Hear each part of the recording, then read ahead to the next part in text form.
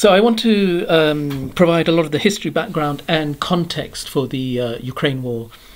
But first, let's start with the Iraq war, uh, because I appreciate that some of you may have been born after the Iraq war, but it was a major event.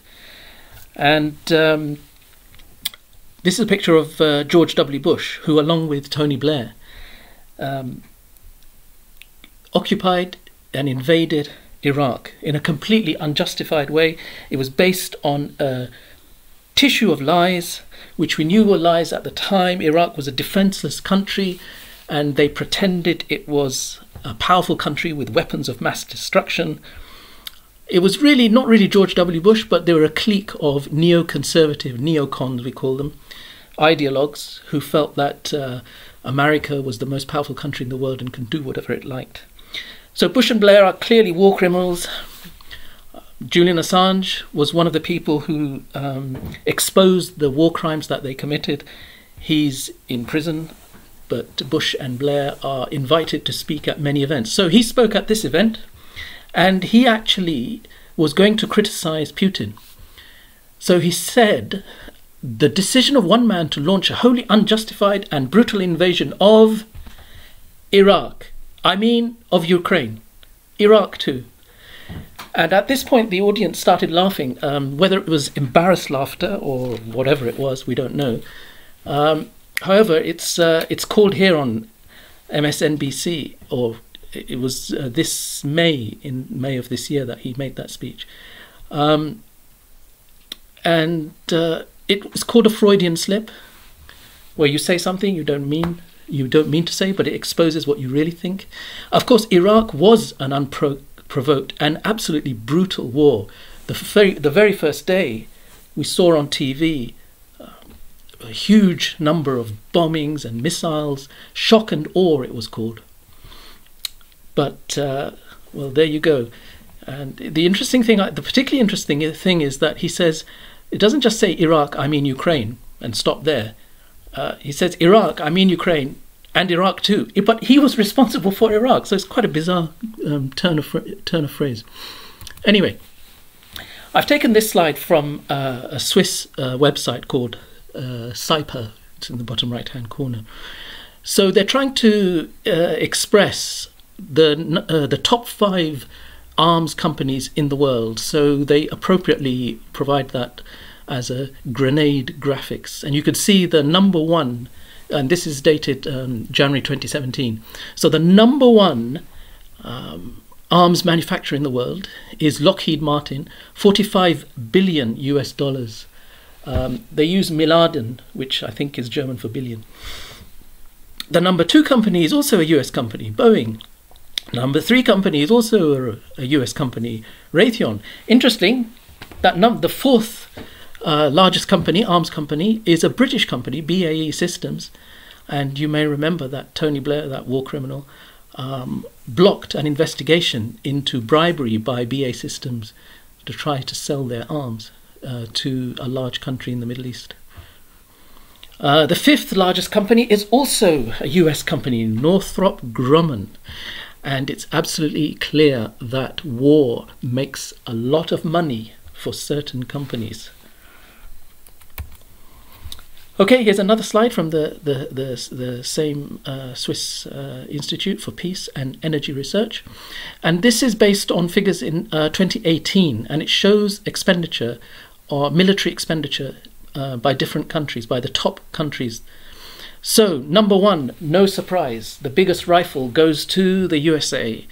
And in 2018, it spent 649 billion uh, that year on military expenditure.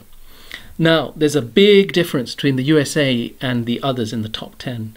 And in fact, if you do the calculations, which I've done on the little table on the right, you could see that um, it spends almost three times as much as the, the second place, which is China. Um, and uh, then there's a whole bunch of countries which are very close together Saudi, India, France, Russia. So Russia doesn't spend a huge amount, uh, as much as, as you would have thought, on their military. Uh, the surprising figure, of course, is India, a country of wealth but also huge poverty.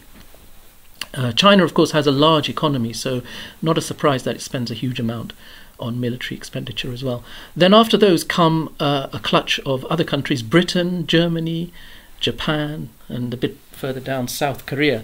So the U.S. spends as much as China, Saudi, India, France, Russia, Britain, and Germ- more than those eight, the next uh, seven countries up to up to Germany, and it spends just about as much as the the top the the the the number two to number eight countries added together. That's a huge amount of money which is spent on armaments, and you consider that the United States doesn't even have a national health service. Uh, it's uh, rather bizarre their sense of priorities. Okay, illegal wars. Uh, this is uh, a slide I've taken from uh, Daniel Ganser. He wrote a book uh, um, about uh, Nazi war criminals that were employed by the US um, Secret Service and MI5 as stay, stay behind troops in parts of uh, Western Europe, so Italy. and Turkey and France and, and other countries, Spain and so on. Uh, they were they were Nazi, ex-Nazis who were kept secret and employed by the CIA, um, and then they carried out um, uh, bombings and blame them on communists and socialists and so on. Uh, the most famous example was uh, in Italy, and it was called Gladio. The secret, uh, the code word for for it was Gladio. So they've all basically been called Gladio. But anyway, here he's talking about illegal wars um, between 1999 and 2022. So we can see in uh, 99, um, countries like USA, Canada, Britain, Germany, etc., uh, were involved in the Serbian uh, bombing. Uh, in 2001, of course, uh, there was the uh, the bomb, the illegal war on Afghanistan. 2003, the war on Iraq. 2014, you've got the USA, France, and Britain in Syria. Uh, 2018, he's also got Israeli bombardment of Syria, but actually Israel bombs Syria and occupied Palestine uh, quite regularly. 2015, he's got the Saudi Arabia attack on Yemen. It's quite a number of illegal wars. Uh, and 2011, of course, the attack on Libya. Okay, here we have uh, American interventions, either coups or attacks on or bombings on various countries. So the interesting one to start off with there is Iran. I'm just going to add a marker. I think I can get a pointer as a pen. Okay, so here we have. Uh, I think you can see the cursor now. Um, 1953. Um, there was a, a government, Mossadegh government in Iran that wanted to use the oil in Iran for the benefit of the Iranian people, which seems like a crazy idea. Uh, and Britain actually, uh, it was a, the Anglo Anglo-Persian oil company, later called the Anglo-Iranian oil company, later called BP, uh, that was getting all the benefit from Iran's oil. Um, so he nationalized it and then there was a coup carried out by Kermit Roosevelt, and he got rid of Mossadegh and installed the Shah of Iran in power, and uh, oil continued to be stolen as before. And it didn't end there because if you look across to 1954, Kermit Roosevelt, who sort of now was the expert in coups, went over to Guatemala and carried out a coup there. And there have been a number of coups which which we can see. I mean, in the in the Western Hemisphere, uh, sort of the American continent, You've got uh, the attack on Cuba in 61, you've got Nicaragua in 81, Panama 89, they attacked General Noriega, who used to be a CIA asset. Then Grenada in 83, Chile, uh, you know, um, the uh, 1973 attack on Chile, which again got rid of a, an elected uh, president, replaced him with Pinochet, the dictator. And then you've got uh, some some we've already mentioned. There was a bombing in '98 of Sudan.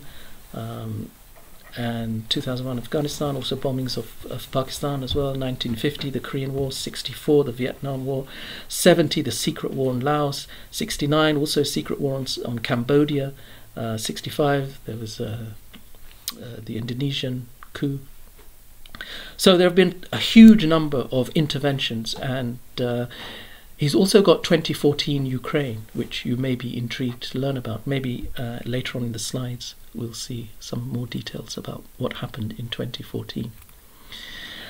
Okay, let's look at drone killings. Now, drone killings are supposedly killing evil people, but of course the reality is completely different, as we found out.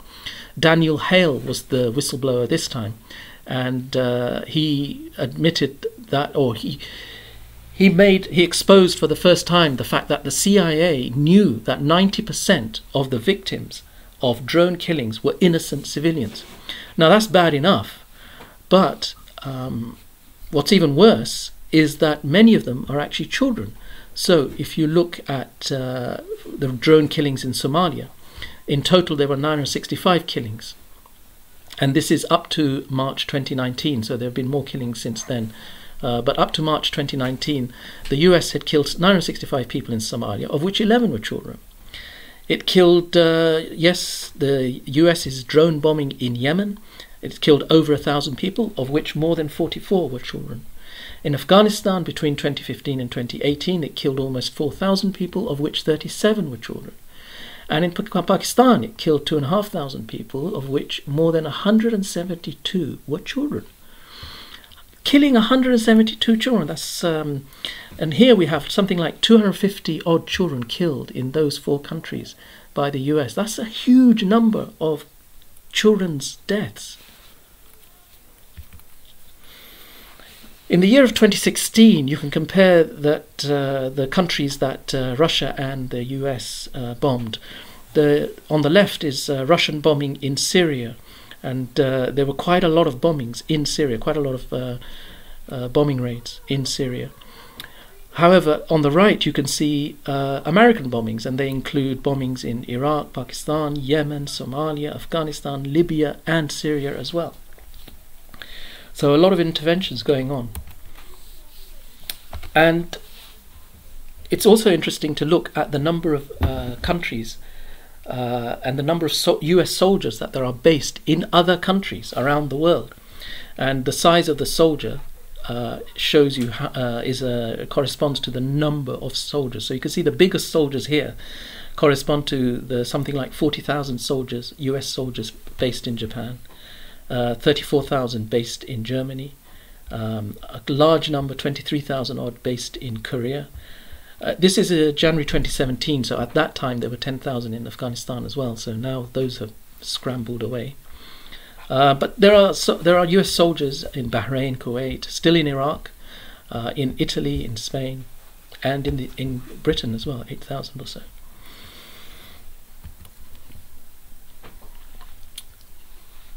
Okay. There are about 700, or there were at the time of this slide, 700 US military bases in 42 different countries. Those are the ones coloured blue. Um, and of course, there are over 4,000 US military bases in the US as well. So, a huge number of countries, most of South America, most of the countries in South America have uh, US military bases. Um, a lot of countries in, in Middle East and North Africa have, have US military bases. That's just a huge number of military bases around the world. And actually, the figure may be closer to 800 now. So let's let's compare it with other countries. Top left, you have uh, the number of military bases that France has. It has military bases in 11 countries, uh, quite a few in uh, Africa. And here, top right, we have the number of uh, countries that uh, Britain has military bases in. And again, it's 11 countries it has military bases. So let's compare it with uh, two evil countries. First is Russia, and it has military bases in nine countries. Most of these are actually um, neighboring countries to Russia, which were once part of the USSR. Um, then there's Syria here, and Vietnam as well here, which has close links to Russia number of military bases in foreign countries that China has is limited to one, uh, and it's Djibouti. And actually, uh, it's here. You may not be able to see it on the slide, but it's here, Djibouti. And actually, in fact, other countries have military bases in Djibouti as well. So, for instance, Britain has a military base in Djibouti, and so does France, and I think Brit- uh, US has as well. Okay, we often hear these days about how NATO is a defensive alliance. So let's look at that in a little bit more detail.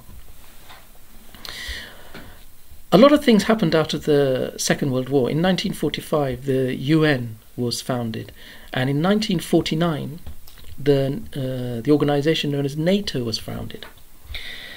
And in opposition to NATO, the Warsaw Pact was put together by the USSR, so the countries that it had under its control in Eastern Europe, and that was in 1955. And um, let's look at some uh, but even but irrespective of that you can see that many countries were bombed and attacked or or had a coup organized against them throughout the years. 1953 Iran 54 Guatemala um, Egypt in 56 Cuba in 61 Vietnam attacked in 64 Nicaragua in 81 Serbia in 99 Afghanistan 2001 Iraq 2003 Libya 2011 Syria 2011 since then they've been continuing. Uh, Ukraine start things kicked off in 2014, Yemen in 2015. In the meantime, we had the founding of the International Court, and we had, oops, one. Um, actually, let me let me go back to this. And uh, whether NATO is a defensive alliance is actually open to question because it has been involved in many bombings and attacks around the world, and these are just some of the countries uh, that that were involved. Okay, two other things I want to talk about. Um, in 1972, the ABM Treaty was signed between the Uni- uh, USA and USSR. It's an anti ballistic missile treaty, so it, it deters a first strike. In other words, the idea of nuclear weapons was that uh, if the US launches nuclear weapons at Russia or uh, the United USSR, then the USSR will launch nuclear weapons at the US. So, although the US will destroy the USSR, the USSR will also destroy the US. So there's no point in actually launching nuclear weapons at your enemy. However, if you create an anti ballistic missile which can shoot down your opponent's nuclear weapons, then you can actually send your nuclear weapons off, destroy their country, and when they are, try, are trying to destroy your country, you shoot down their nuclear weapons and then you don't get destroyed. So anti ballistic missiles are very, very dangerous idea because they can lead you to think that you can survive a nuclear war. You hit them first and you shoot down their nuclear weapons. In 2002, George W. Bush withdrew from that treaty. 1987, the Intermediate Nuclear Forces Treaty, INF Treaty, was signed between, again, the US and the USSR. So this was a brilliant treaty because it removed, destroyed about 900 and uh, US nuclear intermediate weapons and 1900 Russian nuclear intermediate weapons. And this this was because um, now you, you had short range, or rather than the, uh, the intercontinental ballistic missiles, which we were talking about before, you had short range nuclear weapons, and they were they were um, kept in Europe. They are also very dangerous because the flight time from America to Moscow is quite a long time, maybe half an hour or something with a missile. So if the Russians see something that looks strange, like it might be a nuclear attack being launched by the US, they've got half an hour to check. Oh no, it's just a flock of birds, or no, it's a civilian airline, or no, it's something else. so, so you have plenty of time to not press your button, mistakenly thinking it's a nuclear weapon and you are under nuclear attack. However, with these intermediate nuclear weapons, they're much closer. They're in Europe, so the flight time is minutes. So the Russians, seeing this object coming towards them, don't have that much time to decide, oh, it's not really a nuclear weapon. I don't need to press that push that button button. So this was a really great t- treaty because it removed thousands of missiles from Europe.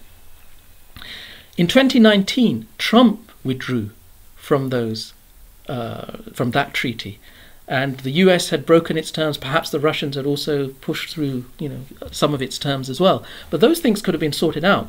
Withdrawing from these treaties, which makes every human being safer on earth, is an absolute disaster because it leads you much closer to nuclear annihilation, even by accident. And that's not something that's theoretical. These things have happened. Um, in I think 80 in, in the 1980s, the Americans and NATO were performing a military exercise which involved testing their command and control structure for nuclear weapons. The Russians actually thought that it was a nuclear attack on them. Um, but luckily, they realized it wasn't in time. We were very, very close to nuclear annihilation. These treaties make us safer, and withdrawing from them is, is very bad news. Okay, now I want to turn to Ukraine and a little bit of history. And I, I, I want to start this far back for a particular reason. so I'm going to start with someone called Simon Petliura. Now, he was a, a, a, Ukrainian independence leader from 1917 to 1920. He fought against the Bolsheviks who had taken power in Russia. he fought against the Bolsheviks. He also massacred Jews and uh, so there's a picture of, of him uh, on the left, and there's a picture of him on the right, which is a picture actually of a statue of him. And you can see the similarities between the photo on the left and the statue that they created uh, more recently. And it was a new statue created in 2017. Now, Hannah Arendt, uh, who was a Jewish refugee from Nazi Germany who went to America, uh, she was quite a famous sort of philosopher. Um, she also uh, reported on the Eichmann trial in Israel. Uh, very uh, interesting report. She compared uh, Simon Petliura to the Nazis, and he Petliura was actually assassinated by a Jewish poet, Sholem Schwarzbard. Now, the left-hand picture I took from a site called, as you can read in the bottom right-hand corner there of the photo, Stormfront, and that's a very right-wing neo-Nazi site. I think it's based in the United States. And the picture, a photo I've taken uh, from the left is from a newspaper from Israel. It's called the Times of Israel. Uh, okay, let's carry on. So Petliura was before the Holodomor, and let's talk about that now. So that was in 1932, Stalin's Holodomor Holocaust, where uh, now, people argue, different historians argue about the number of Ukrainians who were starved to death. But the generally accepted figure amongst serious historians is 4 million. So 4 million starved to death, that's a, that's a huge number. And uh, many Ukrainians blamed, blamed those deaths on both Russians and Jews. Um, Stalin was, of course, the leader. He wasn't actually Russian, he was Georgian, of course. Um, Molotov was instrumental. Pavel Postyshev was also instrumental. Molotov, he's the guy who the Molotov cocktail is named after. Lazar Kaganovich and Genrich Yagoda were also quite heavily involved uh, in, in the Holodomor. Um, those two were um, uh, Jewish. Uh, Kaganovich was a friend of Stalin, very senior, and uh, Yagoda was head of the secret police at that time. So this is a this, uh, again a picture from the Jerusalem Post, which is again an Israeli newspaper and it's uh, describing uh, far right protesters in Ukraine. And in the headline, it says they demand Israel apologizes for communism, which is a bit ridiculous. Um, but the subheading is a little bit more factual. It says the far right activists have called on Jews to assume responsibility specifically for the Holodomor, a famine that killed millions of Ukrainians in the 1930s. And the reason they did that was because some of the Jewish people, some of the uh, people that they have blamed. And I think they had a, a court case uh, in Ukraine a few years ago, and they blamed specific people for that uh, genocide. Okay, so now we come to Stefan Bandera. Um, and the reason I, I mentioned Petliura was because he was before Bandera and he was before the Holodomor as well. I mean, you could argue in some ways that uh, Ukrainians suffered a genocide, and then that made them very angry against the Soviet Union, and then they sided with the Nazis, and perhaps that's some sort of justification. But uh, Stefan Bandera was a fascist leader of the orga- Organization of Ukrainian Nationalists, and um, this is a torchlit march commemorating him he was at times a Nazi ally. So he was a pre World War II terrorist, uh, or he's regarded as a terrorist in Poland. He welcomed Hitler, he collaborated with Nazis, and inclu- that included the murder of Jews. He declared independence and was then arrested by the Germans. And then his uh, Ukrainian insurgent army collaborated with the Nazis again. Then it fought them, then it collaborated with them. So uh, it went backwards and forwards a bit. So they massacred Poles and other non Ukrainians. Then they continued to fight against the Soviets until 1947, uh, working with the CIA. So after the Second World War, um, he was a UK and US anti Soviet intelligence asset. So this is where this sort of uh, idea of Nazi collaboration goes back to Stefan Bandera. Now, in the inset, I've got a map of Ukraine, which is highlighted in yellow here. And recently, there have been a lot of statues put up of Bandera.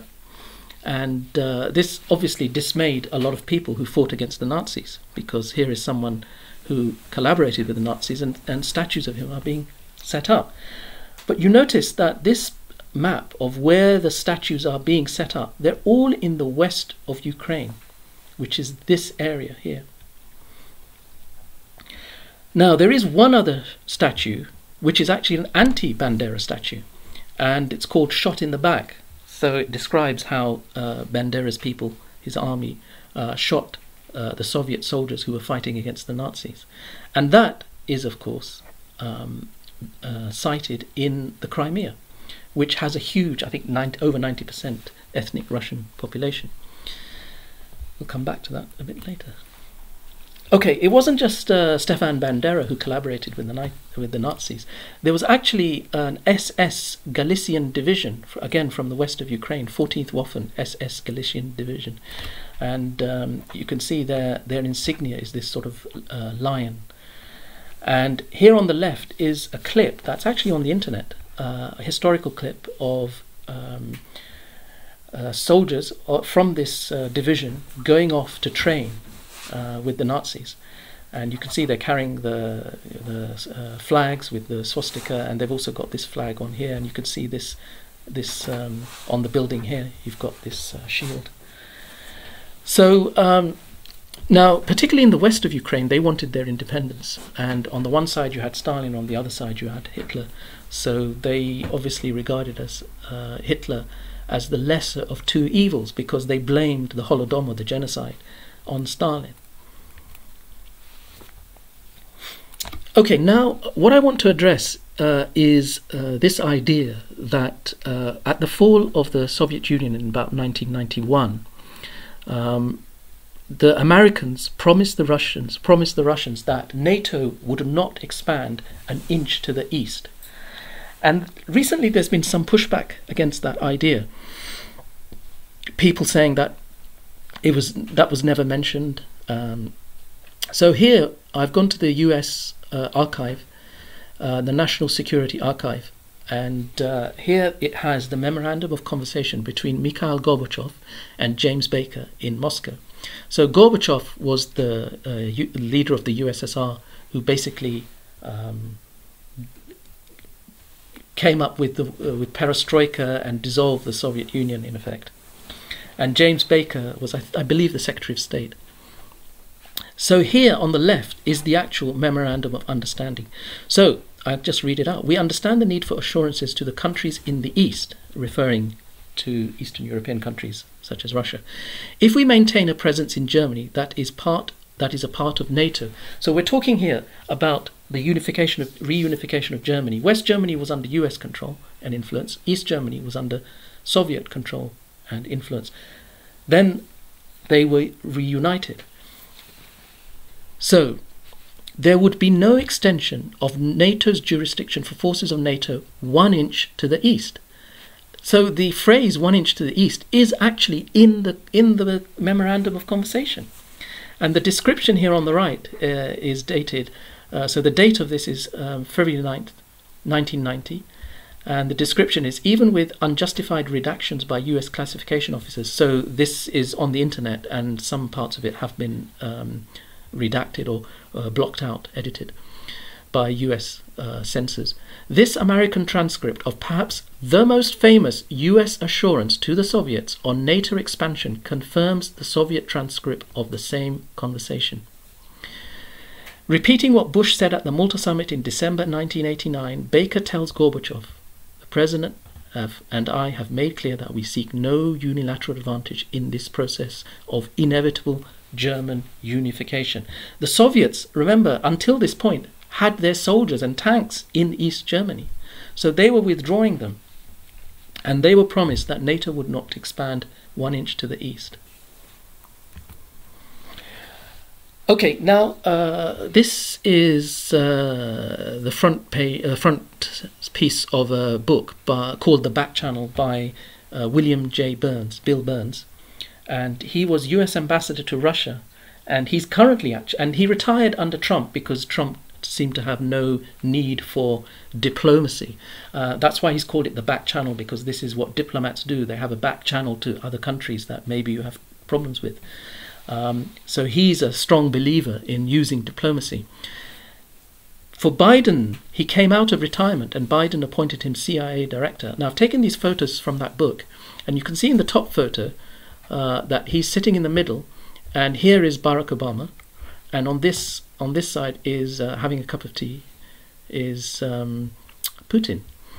And here we have another photo. We have on the left Putin and his uh, foreign minister Lavrov, and on the right we have William Burns. So he was he was U.S. ambassador. Apparently, he speaks fluent Russian. Uh, he was also ambassador previously to I think Jordan and speaks Arabic as well. Um, so, why am I talking about William Burns? Because I've taken these four clips from his book. So the first one. Earlier that year, I had stressed in another cable, so he's talking about sending cables back to Washington uh, from Russia, he's the US ambassador there, that nowhere is Putin's determination to stop the erosion of Russia's influence greater than his own neighborhood. Georgia was the proximate concern, but Ukraine remained the reddest of red lines for Putin. The Orange Revolution in 2004 was a massive blow for the Kremlin. So on. The second quote Putin offered little resistance to Baltic membership, Again, these are all countries that were part of the USSR sphere of influence before, members of the Warsaw, Warsaw Pact, the opposite of NATO. Putin offered little resistance to Baltic membership, membership of NATO, that is, amid all the other preoccupations of his first term. Georgia and especially Ukraine were different animals altogether. There could be no doubt that Putin would fight back hard against any steps in the direction of NATO membership for either state. Uh, and the third clip, I, again, I've mentioned the ABM treaty. So um, he, the, the, the phrase he uses is uh, Putin obviously swallowed the US abrogation of the anti ballistic ABM treaty early in the Bush administration, but resented it deeply. So it's a worrying situation for Putin as leader of Russia. And the last clip I've got is, um, especially to Ukraine, Ukrainian entry into NATO is the brightest of all red lines for the Russian elite, not just Putin. In more than two and a half years of conversations with key Russian players, from knuckle draggers in the dark recesses of the Kremlin to Putin's sharpest liberal critics, I have yet to find anyone who views Ukraine in NATO as anything other than a direct challenge to Russian interests. Okay, now let's turn to WikiLeaks. I mentioned uh, Julian Assange being um, imprisoned, whereas war criminals like uh, Bush and Blair, whose war crimes were exposed by WikiLeaks and Julian Assange. So let's look at WikiLeaks. This cable was actually secret, and um, it's a famous cable, and it's called Niet means Niet. And Niet is the Russian for no. So no means no. Russia's NATO enlargement red lines. And it's from the U.S. ambassador Bill Burns, who we've just uh, we've just met, and um, it's to um, Secretary of Defense, Secretary of State in the United States, and also to NATO. And this is a confidential uh, cable. Um, okay, so what does it say? Uh, classified by Ambassador William J. Burns. This is uh, he was ambassador to Russia between 2005 and 2008. Summary: uh, Foreign Minister Lavrov, he's still the foreign minister, by the way, and other senior officials have reiterated strong opposition, stressing that Russia would view further eastward expansion as a potential military threat. NATO enlargement, particularly to Ukraine, remains an emotional and neuralgic issue for Russia. But neuralgic means uh, extremely painful in your uh, in your facial nerves. Uh, remains an emotional and neuralgic issue for Russia, but strategic policy considerations also underlie strong opposition to NATO membership for Ukraine and Georgia. In Ukraine, these include fears that the issue could potentially split the country in two, leading to violence, or even, some claim, civil war, which would force Russia to decide whether to intervene. So this was, um, when was it? Uh, 2008. So it's it's uh, incredible. He's actually predicted what has happened now in 2022. Okay, so no extension to NATO, one inch to the east. Let's look at actually what happened. So uh, the original uh, members of NATO are these blue, dark blue countries here, and then uh, very shortly later, in 52, Turkey was added, and then and then Greece and then 55 uh, West Germany was added here. So West Germany and East Germany were separated at that point. And then uh, Spain was added in 1982. Again, that's not really uh, of that much interest. Then you had 1990, the German reunification. But then what's happened since then, since that one inch, no, not one inch to the east? Well, you've had these countries, Poland, um, and uh, and Poland's getting very close to Russia now, and then you've also had uh, all the Baltic states as well, um, and uh, Albania, Croatia. So you could see this this country here is uh, is Russia, this is Belar- Belarus, and this is Ukraine. So adding Ukraine to NATO is a lot more than not one inch to the east, apart from you know Poland and Hungary and Czechoslovakia and so on.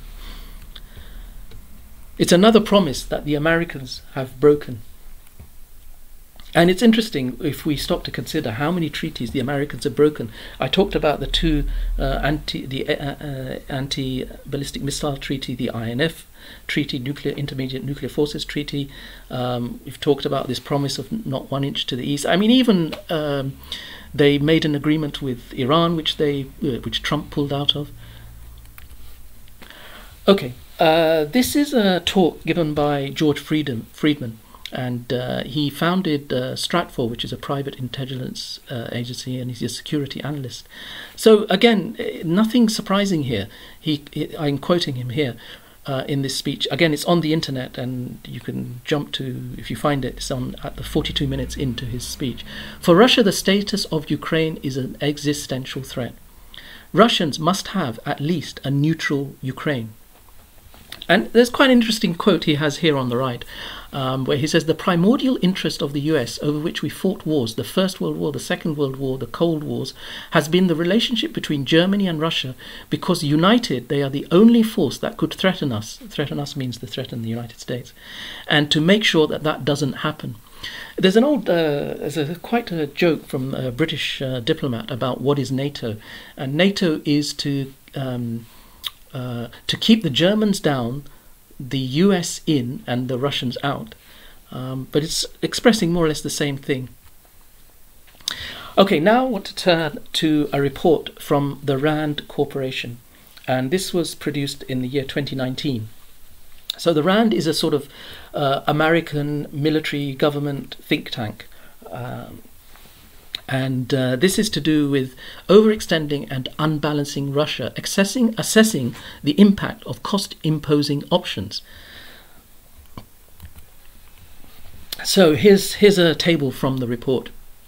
Um, so on the left, they've got uh, economic cost imposing options and then they look at how first of all how likely how successful they would be in extending Russia what whether the benefits are high low or medium and whether the costs to the United States are high low or medium.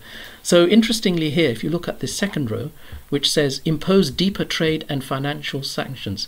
So the likelihood of success in extending Russia in other words damaging Russia is high. So that's a good thing.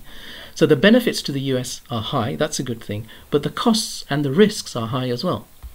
And this one is increased Europe's ability to import, import LNG, liquid natural gas, from sources other than Russia. So the likelihood of success in, uh, in hitting Russia is moderate, but the benefits are high and the costs and risks are high. So understanding these tables will give you an understanding of what's happening now with the sanctions against Russia. And here's I've, I've picked out another table from that same report. So again, geopolitical cost imposing options, there's a list of them down here on the left. And again, the same sort of thing, the likelihood of success in extending Russia, the benefits uh, in terms of how much damage you can do to Russia, and the costs and risks to the United States of those actions. So, the first row is provide lethal aid to Ukraine. So, success in extending Russia is moderate, the benefits are high, but the costs and risks are high as well. And there are a few other things as well here. Um, but interesting that these things are being looked at by uh, these sort of military think tanks. Okay, so this is from the NATO North Atlantic Treaty Organization website, and this is the Bucharest Summit Declaration from 2008. And this is issued by the heads of state and governments that participated in the meetings of NATO in Bucharest in, 20, in 2008. So there are a different number of paragraphs, and paragraph 23 is NATO welcomes Ukraine's and Georgia's Euro Atlantic aspirations for membership in NATO. We agree today that these countries will become members of NATO. Now, apparently, uh, well, not apparently, this was actually opposed by France and Germany, and it's said that Britain also opposed it but didn't want to say anything because they didn't want to upset the Americans. Uh, Britain, of course, being America's uh, lapdog again. And this was in 2008 when President George W. Bush was US uh, president. So, despite the fact that France, Germany, and probably Britain were opposed to it, how did it get chosen uh, to be part of uh, NATO's summit declarations? Because the United States dominates NATO. What the US states happens in NATO. Okay, let's let's look at Ukraine now, and uh, you can see this is a map of Ukraine, and uh, on the on the so here on the west you've got this large band of red, which is mostly Ukrainian-speaking people. Here we've got Crimea, and look at that. That's ethnic Russian majority in virtually the whole of Crimea. Then on the east side you have significant ethnic Russian populations.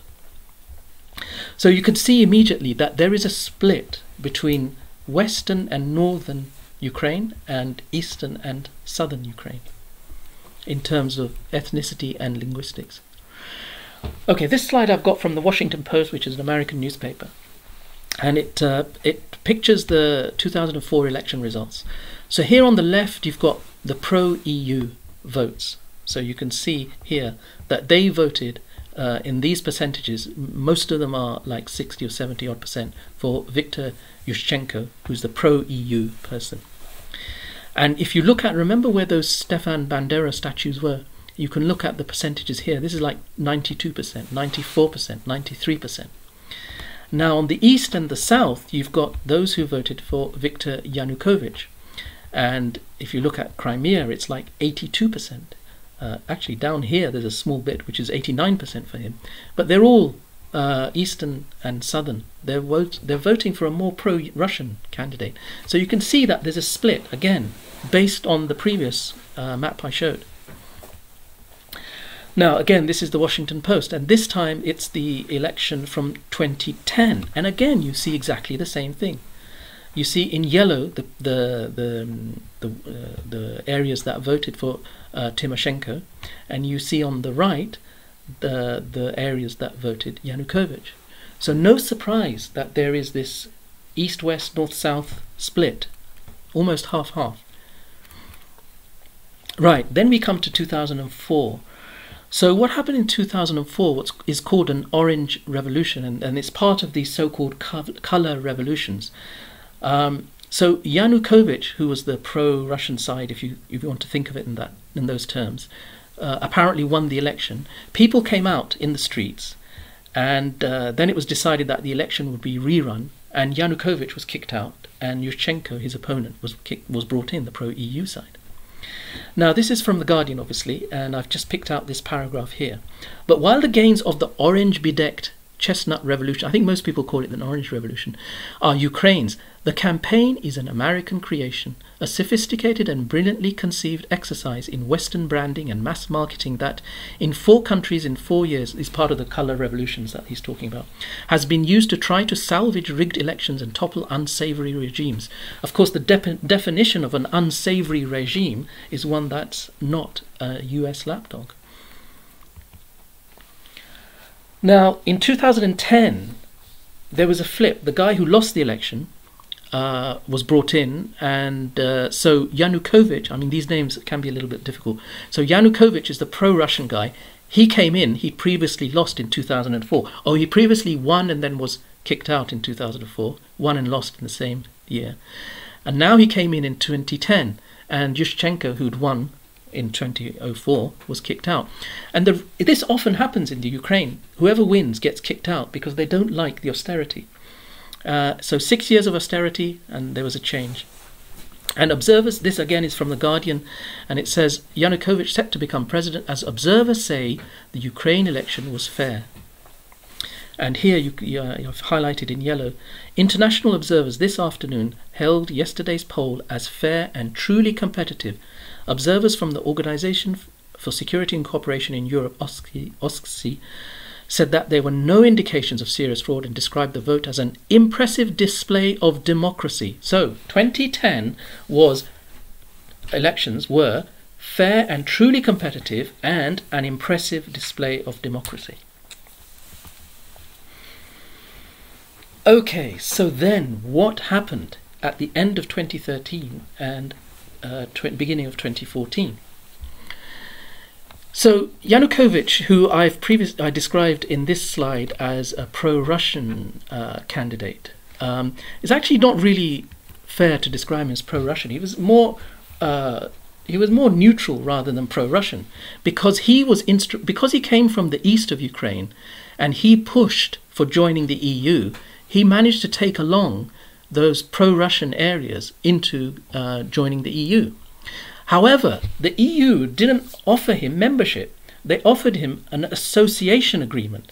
An association agreement is not was not he was not being Ukraine was not being offered membership of the EU. He was being offered an association agreement. Now, Putin, as we know, did not, or Russia did not want uh, Ukraine to move towards the West. So they naturally Russia used its influence. So uh, Yanukovych had a stark choice, as this clip again. This is from Al Jazeera.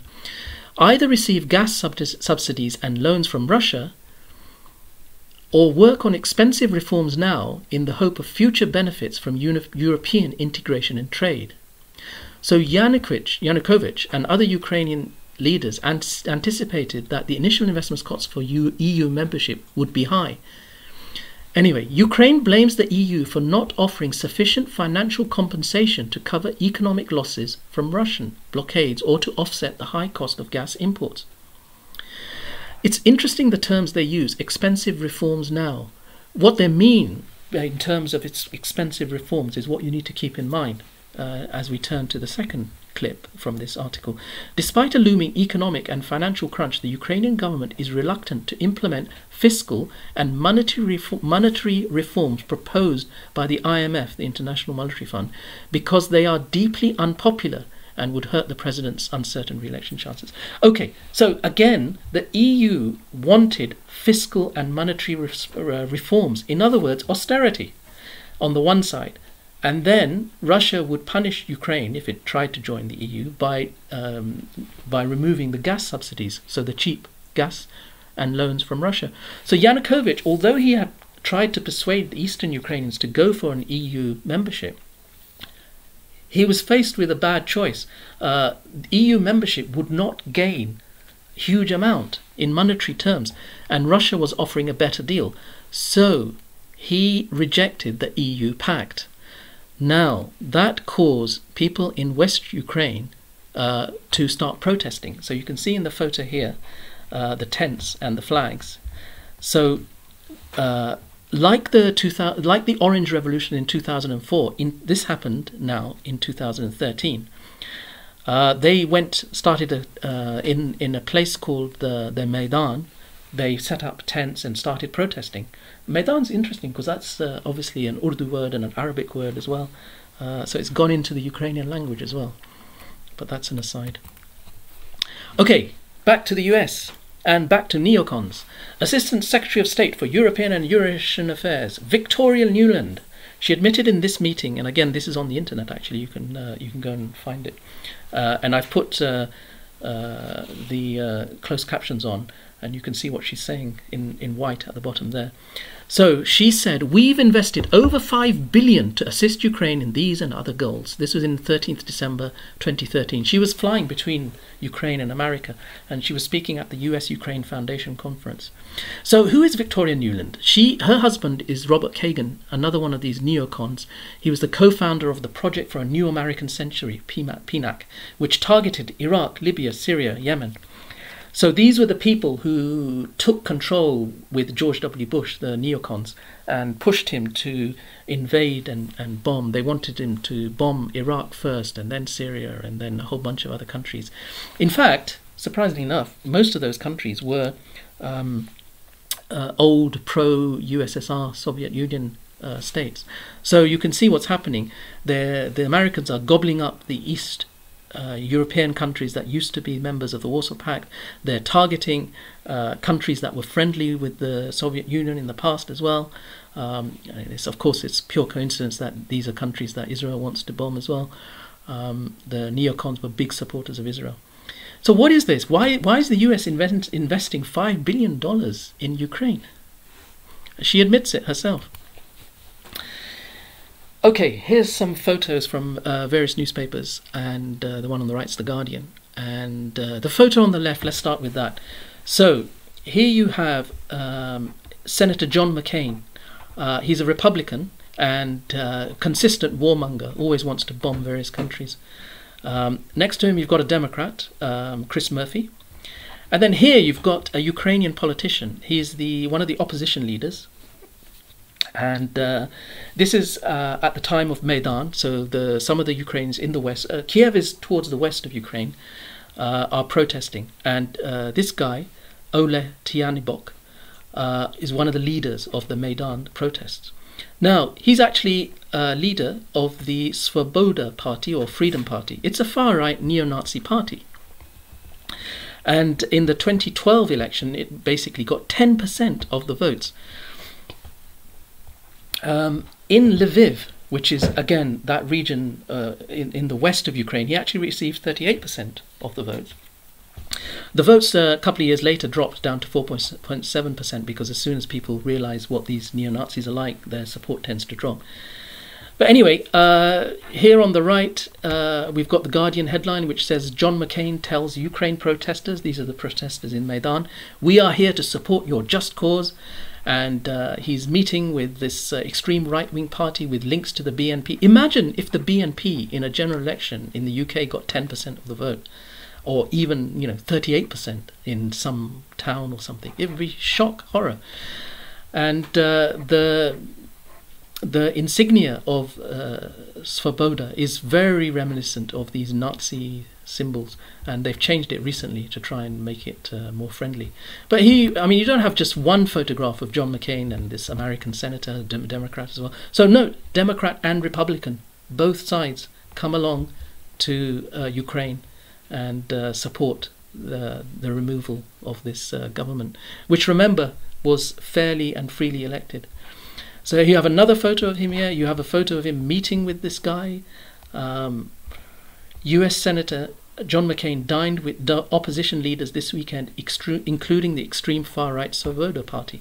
So, again, uh, the Russians have said that there's a bunch of neo Nazis in Ukraine, and the reaction has been no, no, they're talking rubbish. Actually, they're not. There is this uh, link to the far right. We hear a lot about the Maidan protest, and we don't really hear that there was actually an anti-Maidan protest here. So on the left, I've got a picture of the anti-Maidan protest. You can see a fair number of people here going off into the distance. And on the right is the Maidan protest. So now here we have Victoria Nuland again, that neocon, and next to her is Jeffrey Pyatt, who was the U.S. ambassador, and she's handing out cookies to uh, the protesters in the, in Maidan. You know, there is no doubt that these people wanted closer links with the EU and, and wanted uh, a better financial future. Future. What perhaps they didn't realize was that the EU in their association agreement was going to demand, you know, austerity and fiscal reforms that it's debatable would ever would leave them off uh, better off in the short term, certainly. Okay, so here's an interview with Ina Kirsch, uh, who's uh, German or Austrian, and uh, she uh, was a supporter of uh, Ukraine. And she's saying that people finance revolution. Soros also supported the Maidan, paid people there. They earned more in two weeks on the Maidan than in four weeks of work in western Ukraine. That doesn't mean, however, that the Maidan was bought as a whole. The outrage after the non signing of the association agreement was, of course, genuine. But one shouldn't delude oneself. There is enough evidence that people were paid both at the Maidan and at the counter event, the anti Maidan. Um, I know people so she's actually reporting I know people who cashed in on the anti Maidan at the counter demo in the morning, then went over to the Maidan and cashed in again there. Okay, now isn't that so familiar? Uh, I mentioned the coup in Iran in 1953. Kermit Roosevelt, who was a CIA guy, he funded both pro Mossadegh and anti Mossadegh demos. It's a playbook that goes back right to the beginning of their coups, 1953. Okay, here's uh, more people, and again, more photos. You've got Klitschko, you've got Victoria Nuland and uh, Jeffrey Pyatt, the ambassador, US ambassador, the neocon, and you've got Yats. Uh, you need to remember these names. And here's another photo uh, Victoria Nuland again, the neocon. Here's that right wing guy, Tanya Bok. And there's Klitsch, Klitschko, uh, or Klitsch as he's sometimes called. And this is Yatsenyuk, which is uh, all, the same guy here, Yats Okay, let's see. Right. Now, there's a very interesting thing. Um, now, I've mentioned those names because there was a phone call Victor- between Victoria Nuland, the neocon, and the ambassador Pyatt. And this was secretly recorded, presumably by some intelligence service, probably the Russian intelligence service. And this conversation was then released. So, uh, I've taken some clips uh, from the whole conversation. Again, it's on the internet. You can actually go and listen to it. And uh, Pyatt says, I think we're in play. The Klitschko piece is obviously the complicated electron here, especially the announcement of him as Deputy Prime Minister. And you've seen some of my notes on the troubles in the marriage right now. Nuland says, Good, I don't think Klitsch should go into the government. Okay, Victoria Nuland is a US diplomat, secretary, assistant secretary of state. She's talking to the US ambassador to Ukraine, and they are deciding amongst themselves who should be what in the government of the Ukraine? I mean, it's just crazy. What have they got to do with the government of Ukraine? So, Klitschko thinks he's going to be, or he's been announced as deputy prime minister, but Nuland says no, he, Klitz, as she calls him, should not go into the government. Then Pyatt says the problem is going to be Tyahnybok. You remember that right wing extremist? Nuland breaks in. I think Yats is the guy. What he needs is Klitsch and Tyahnybok on the outside. The Pyatt says, Do you want us to set up a call with him as the next step? But I think just knowing the dynamic that's been with them, where Klitschko has been the top dog, so I think you're reaching out directly to him helps with the personality management among the three. Nuland replies, That would be great. I think to help glue this thing and to have the UN help glue it, and you know, F the EU. Actually, this conversation is famous for that phrase because um, the Germans got extremely upset by the obscenity and the, the language used. But basically, she is deciding who is going to be in the Ukraine government. And we're talking about a protest to get rid of the government. So she's deciding who's going to be the leader of the next government in Ukraine. And she's discussing it with the US ambassador. So let me work on Klitschko. We want to try to get somebody with an international personality to come out here and help to midwife this thing. So they want someone to help convince those people what to do. And Nuland says, um, You need US VP uh, Vice President Joe Biden, so he was Vice President then, and I said probably tomorrow for an attaboy and to get the deets, and details to stick. Look at that. The government hasn't, a, a government that was freely and fairly elected without fraud is being overturned and the US, two US diplomats are deciding who's going to be the next leader. And isn't this so similar to the removal of Imran Khan as a Pakistani leader, where the US was discussing, uh, US were, officials were discussing amongst themselves about a vote of confidence in Pakistan, in the, in the parliament, before it was even tabled. Similarly, here they're discussing about who who they want to be leader, who are they going to arrange to be leader by persuasion or whatever, before the Ukrainian government has even fallen. Okay, so we talked about the Maidan demonstration. Now, some of the buildings were held by the government, but some of the buildings were occupied by Maidan protesters. And one of the buildings that was occupied by the Maidan protesters was the conservatory. You can see it in the background here. And again, this is from a Newsnight, BBC Newsnight program uh, where this guy on the right, uh, the BBC presenter, is interviewing a, a photographer, Eugenie Malalektko. and he actually wandered into that building with his camera. And um,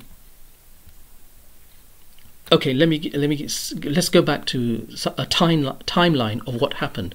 So the demonstration started in Maidan uh, the end of 2013. There was a bit of violence, but nothing too bad.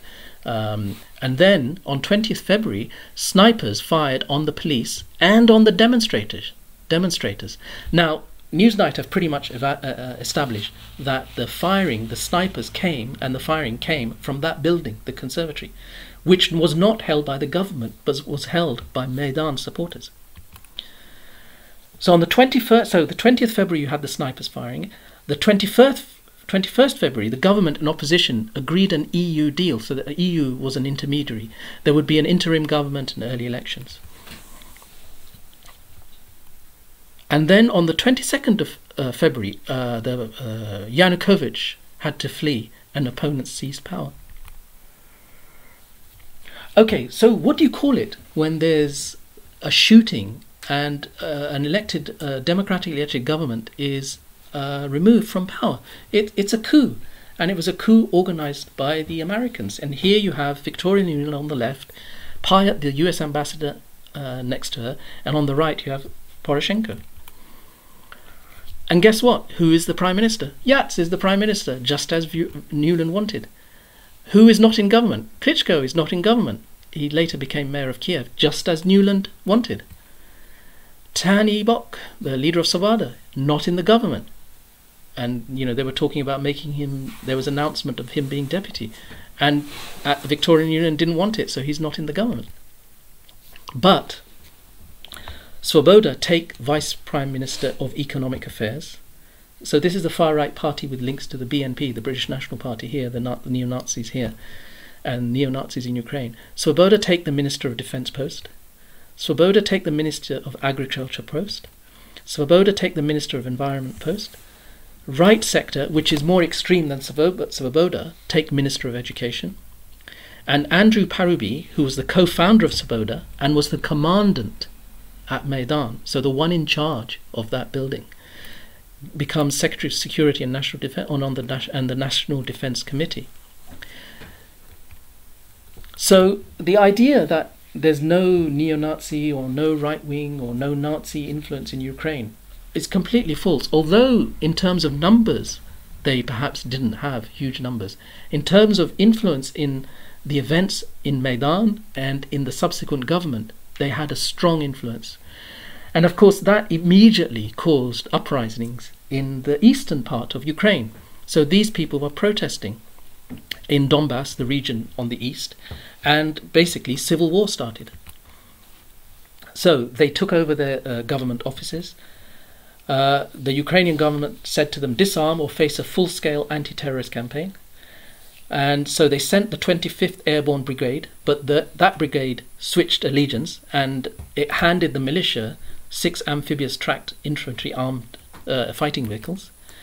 And then a Ukrainian military co- column, uh, uh, civilians came out and talked them into disarming. So basically, persuaded the soldiers not to fight the rebels. So um, that was quite critical because the the Ukrainian government realized that they couldn't trust the military really because a lot of military were sympathetic to the rebels. And this is why uh, they started to turn to these militias. Odessa again is on the south coast. So there was, again, like the anti Maidan protest, uh, there was a protest set up in Odessa against the, the coup, as they called it, in Ukraine. And they were attacked by Right Sector, which again I mentioned as, uh, uh, as being quite a right wing neo Nazi group. And they're football thugs. There was a football match, and they, they marched to the people where they were protesting, to their tents. They, the, the protesters, the anti government protesters now, uh, took refuge in this uh, building, and then the uh, the right sec- these thugs set fire to the building, and 50 of them uh, were killed in the fire. Uh, this is a picture from Reuters. So um, this is the Guardian from 2014, talking about Azov fighters are Ukraine's greatest weapon and maybe its greatest threat. So because the government uh, found that parts of the military um, were sympathetic to the uh, to the uprising in the eastern part of Ukraine, the Donbass, uh, they relied on these far right volunteers, and the most famous of them are is the Azov Brigade, and so basically the rebels took a town called Mariupol, which is on the coast. Um, and the Azov reputation, reputation, because they, they call them here, the Guardian calls them Ukraine's greatest weapon. It's grotesque over uh, exaggeration, but they got a reputation because they went into Mariupol and retook it and fought off the rebels and kicked them out, and that became their uh, center. So now in this article, I've picked out uh, a couple of uh, a couple of parts. So today, they they did people in the in the West, the media, deny that the Azov have anything to do with far right or neo Nazis or Nazis. But in 2014, they weren't shy. Here's this article in The Guardian, and uh, there's an embedded reporter in The Guardian who's writing this, and he's, uh, he's with the Azov Brigade. So he's interviewing someone called Dmitry. Dmitry claimed not to be a Nazi, but waxed lyrical about Adolf Hitler as a military leader and believes the Holocaust never happened. Not everyone in the Azov battalion thinks like Dmitri, but after speaking with dozens of its fighters and embedding on several missions during the past week in and around the strategic port of Mariupol, The Guardian found many of them to have disturbing political views and almost all to be intent on bringing the fight to Kiev when the war in the east is over. And later down, uh, there's another paragraph which I've picked out, and uh, this is the response from one of the fighters. Of course not, it's all made up. There are just a lot of people who are interested in Nordic mythology, said one fighter when asked if there were neo Nazis in the battalion. When asked what his own political views were, however, he said, National Socialist. As for the swastika tattoos on at least one man seen at the Azov base, the swastika has nothing to do with the Nazis. It was an ancient sun symbol, he claimed. I don't, I don't think you could even make that up in a, in a comedy program. Okay, uh, there's a large Ukrainian community in Canada, and this is from a Cana- Esprit de Corps, which is a Canadian military magazine. And the, the article is entitled Choosing Friends and Enemies in Ukraine is No Straightforward Task. So it's uh, the bit I've picked out is last week the US Congress voted to explicitly prohibit American soldiers from training the Ukrainian militia unit known as the Azov Battalion. The reason the American lawmakers gave is the fact that this rogue unit is openly rife with neo Nazis in its ranks. So at one point, it was not controversial to mention the fact that the Azov and other of these military uh, groupings were neo Nazis. So, and pictures like, like this are all over the internet. You can see um, you have a NATO flag, you have a Nazi symbol, and this is the Azov flag. Remember the Svoboda uh, insignia? It looks like a na- Nazi symbol. And here's one guy even giving a Nazi salute. So, who founded Azov? Azov was founded by Andrei Beletsky. He stated the mission of Ukraine is to lead the white races of the world in a final crusade against Semite led Untermenschen and uh, here's how the look at the symbol. So on the this left hand side we have the symbol, which is from the 2nd Panzer Division, SS Das Reich, and they fought the Red Army and were responsible for massacres. Now, this insignia is called the idea of the nation, Svoboda, the National Socialist Party, and they I've talked about how they were involved in the Maidan. And then they changed it to that, and then the, here's the Azov Battalion, and it was a regiment integrated into the army by the Minister of the Interior. It's actually, uh, to be quite strict, it's the National Guard, but anyway, um, it's it's difficult to uh, come up with comparisons, but it's as if the EDL, uh, football thugs, uh, neo Nazis or right wing, extreme right wing, were then incorporated into the British Army. Uh, it's just sort of unthinkable, really. Okay, uh, this again is from the Times of Israel. Ukrainian Jewish billionaire sues Russia over Crimea airport dispute. Ukrainian nationalist Igor Kolomoisky. Kolomoisky is quite interesting because he was the one uh, who funded uh, the Azov battalion. Uh, and he's uh, perhaps one of the richest men, perhaps the richest man in Ukraine. Um, he's also, I think, has uh, Israeli nationality as well. He was banned from the Kolomoisky was banned from the U.S. because of corruption. Actually, there's a lot of corruption in Ukraine, um, and uh, you know, corrupt people tend to like uh, having military people that can enforce their decisions. So Kolomoisky is a notorious Zionist oligarch. He funds the Azov battalion, or used to fund the Azov battalion until it got incorporated in, into the uh, National Guard. Um, and, and that's only that's not the only right wing neo Nazi battalion that he funded. He also funded the neo Nazi Aidar battalion, and he funded Zelensky. And Zelensky obviously is not a neo Nazi. Zelensky is basically an actor, and uh, um, he played the president of Ukraine in a TV program. And uh, it's a bit bizarre that he's then elected as president of Ukraine. Okay, um, so Zelensky, or his office, on Victory in Europe Day, which is Victory in Europe Against the Nazis Day, uh, posted on his Telegram channel a picture of Ukrainian soldier, and the insignia on his chest uh, is blown up here on the right. You can see it here, and that's actually you, you look it up in Wikipedia, which is where I got this from. The Third SS Panzer Division Totenkopf uh, was an elite division of the Waffen SS of Nazi Germany during World War II. Uh, its name Totenkopf is German for death's head, the skull and crossbones symbol, and it's it is thus sometimes referred to as Death's Head Division. And uh, when that was pointed out, it was quickly taken off, but um, it still remained. On the left, you have a posting from NATO um, on Women's Day, and it says things like "All women and girls must live free and equal." And on the right, you have the MFA of Ukraine, which is the Ministry of Foreign Affairs. And it's uh, saying that according to the latest survey, more than 15% of the regular Ukrainian army are women. Okay, that sounds great.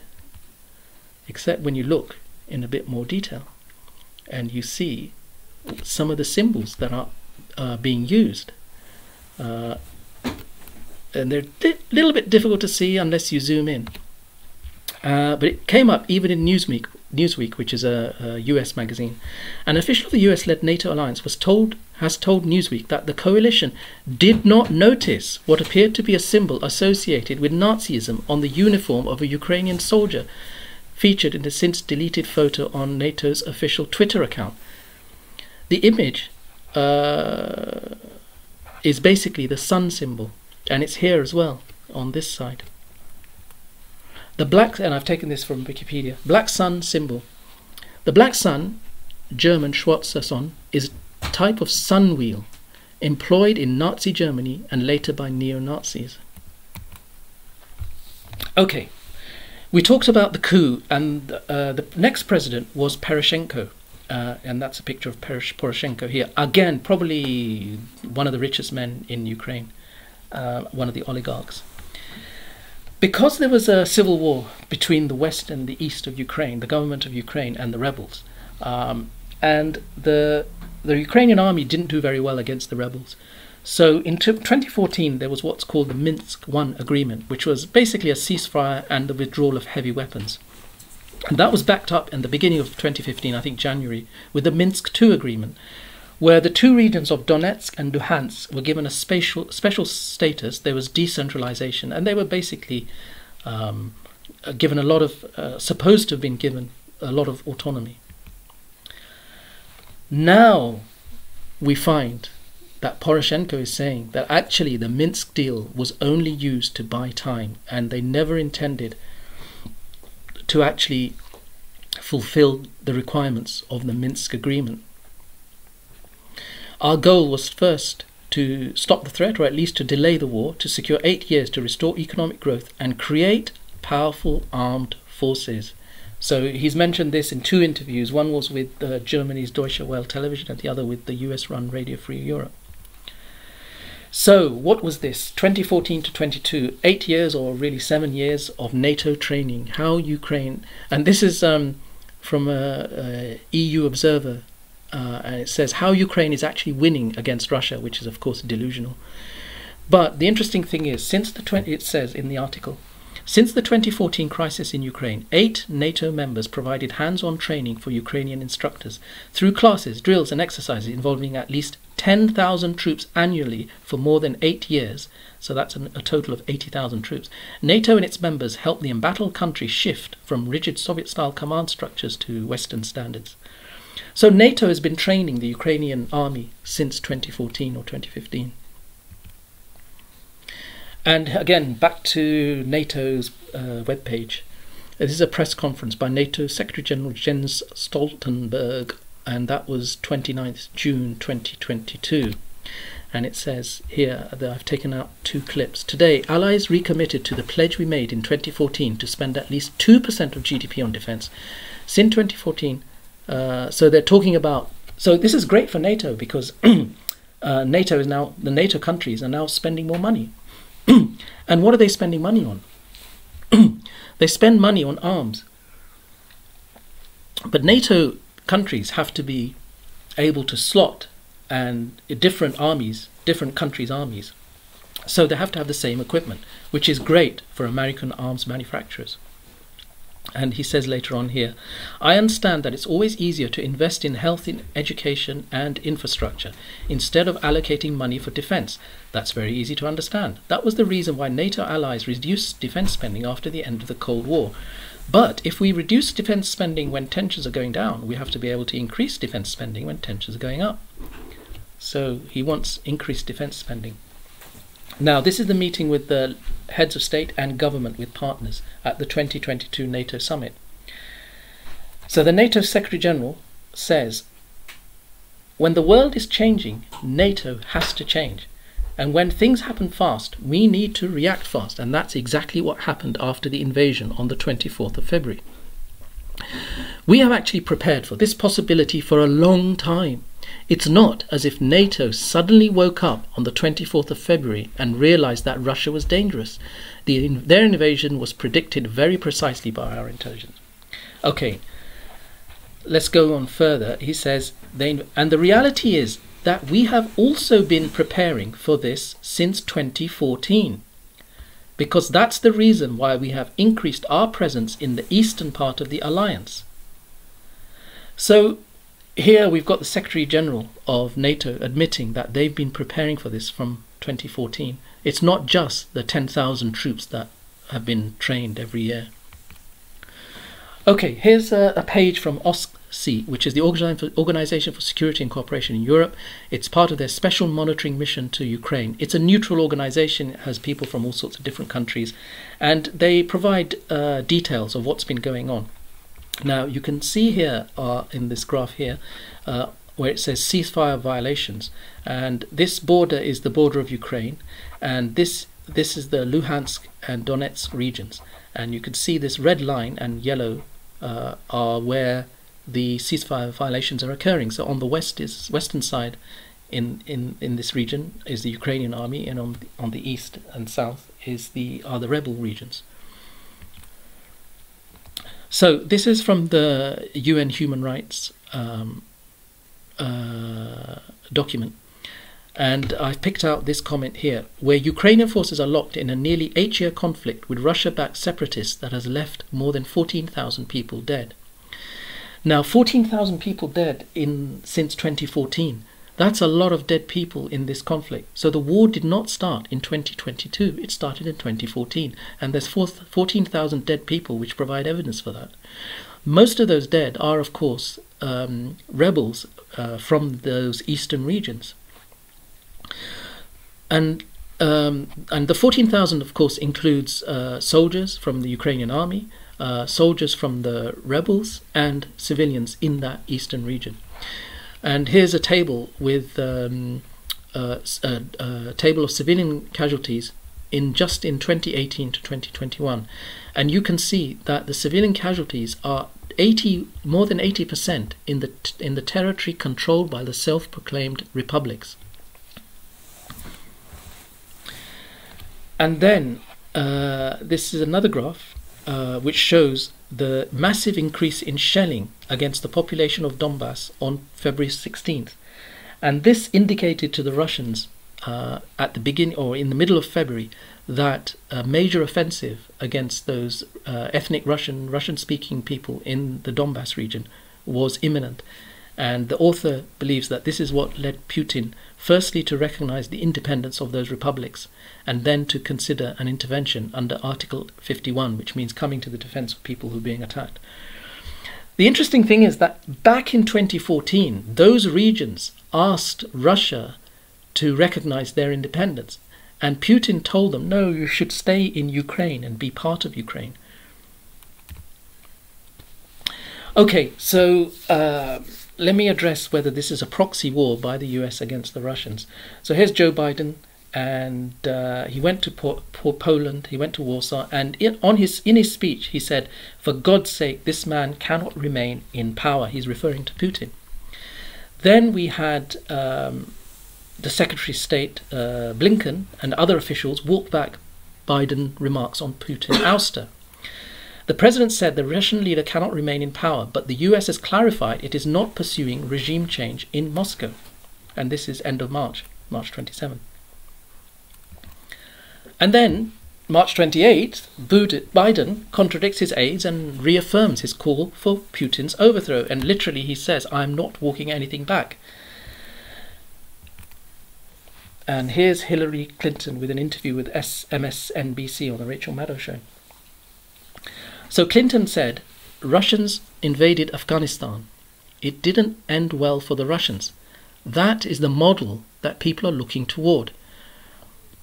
Russia has overwhelming force. We have to provide sufficient military armaments for the Ukraine military and volunteers. So, um, Hillary Clinton has been in and around the corridors of power for a very long time.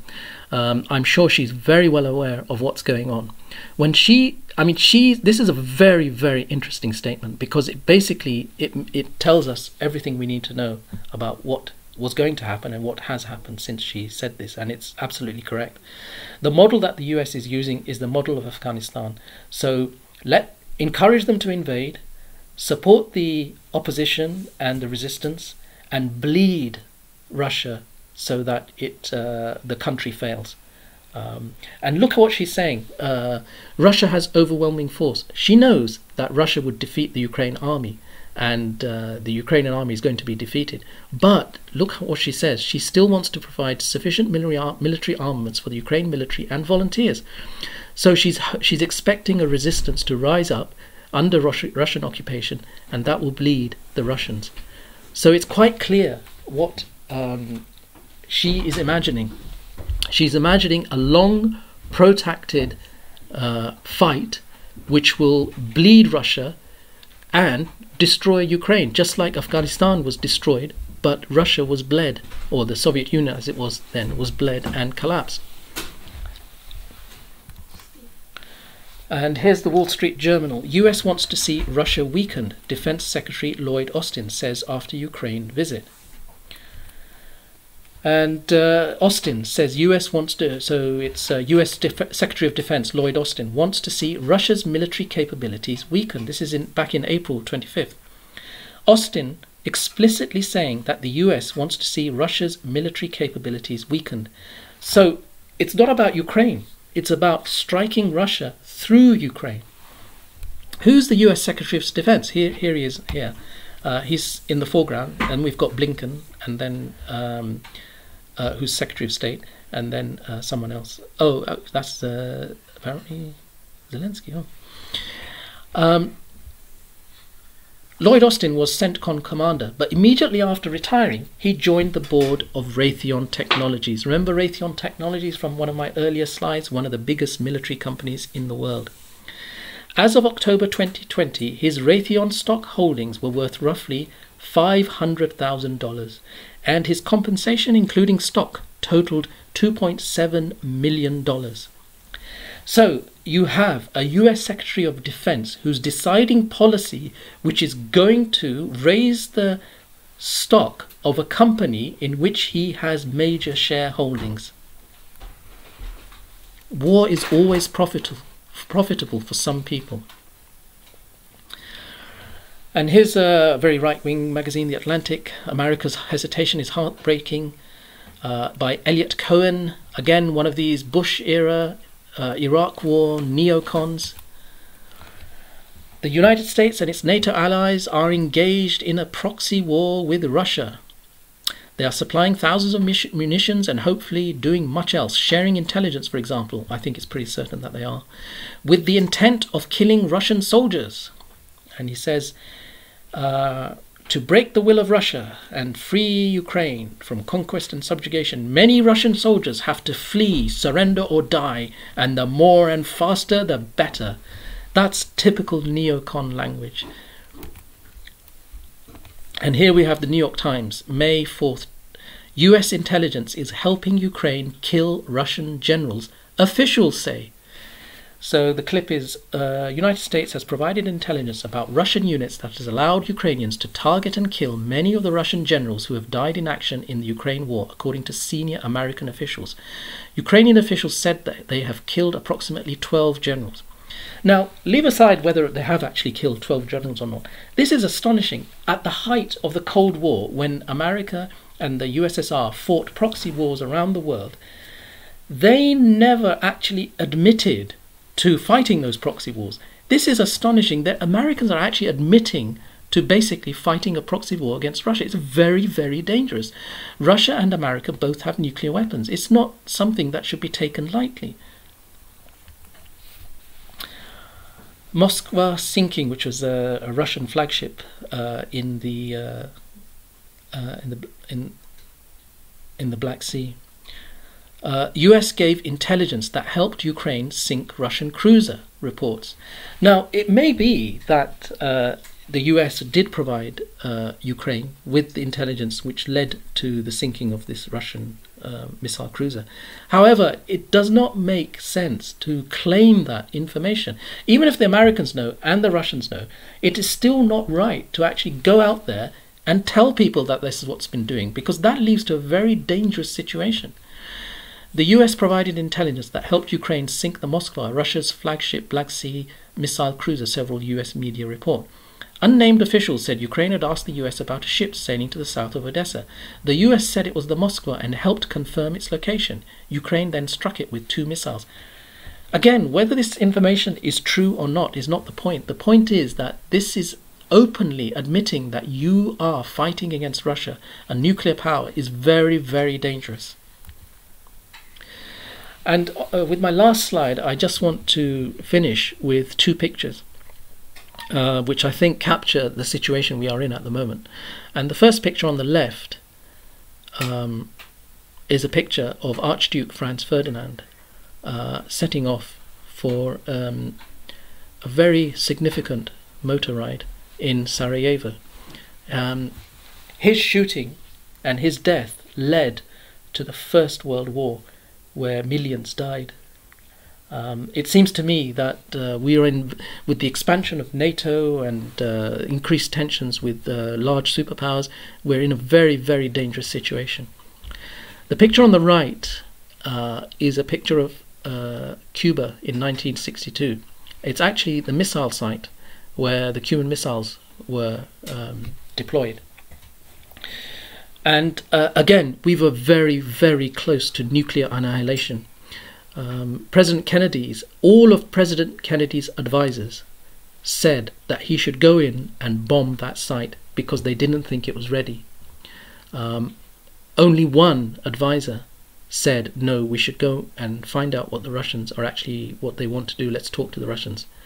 And that was the correct thing to do because um, the site was basically ready. And it's not commonly known or understood that actually the United States had installed uh, nuclear missiles pointed at Russia in Turkey. And uh, the missile, the Cuban Missile Crisis, was resolved uh, by the Russians removing the missiles uh, from Cuba, and very quietly, a few months later, the Americans removed their missiles from Turkey pointed at Russia. So these situations are very, very dangerous. Uh, nuclear-powered countries facing off to each other could lead to the extermination of um, the hum- human beings, human life on this earth. And the only way you can move forward is by talking to the opposition and understanding their point of view, their perspective, and realizing that you know both sides are human beings. And unfortunately, uh, we have been propagandized so much about um, the Ukraine war and how we need to send more and more armaments and see more and more Ukrainians destroyed. Um, and really, what we need, and what organizations like Stop the War have been saying right from the beginning, is that we need a diplomatic solution, we need peace talks, we need people to sit down and talk to each other and move away from this confrontation, confrontation and both sides have to make concessions to attain peace. Otherwise, one side will be totally destroyed. And Ukraine, we're seeing that now. Ukraine is being slowly destroyed. Hundreds of people are being killed every day. Um, hundreds are being injured every day. And for no good reason whatsoever. It's a pointless war. Uh, the arrogance of driving NATO further eastwards has created this situation. And Americans themselves, uh, of intelligence and wisdom, have warned that this was a crazy thing to do. I've talked about the former U.S. ambassador William William Burns, but even academics like uh, John Mearsheimer have, have predicted really what is happening now. Um, and uh, other economists, I think Jeffrey Sachs has uh, predicted, uh, has said that we need to be talking. Even um, uh, even war criminals have said that we should be talking. Ukraine and Russia and America should be talking to resolve this problem. But um, still, um, we're seeing a terrible situation in Ukraine, and really, it you know we need to bring peace to that region and remove tensions and remove weapons from that region, so that um, countries and people in Europe can live their lives in peace. And uh, that same should be true around the world. Um, thank you for listening.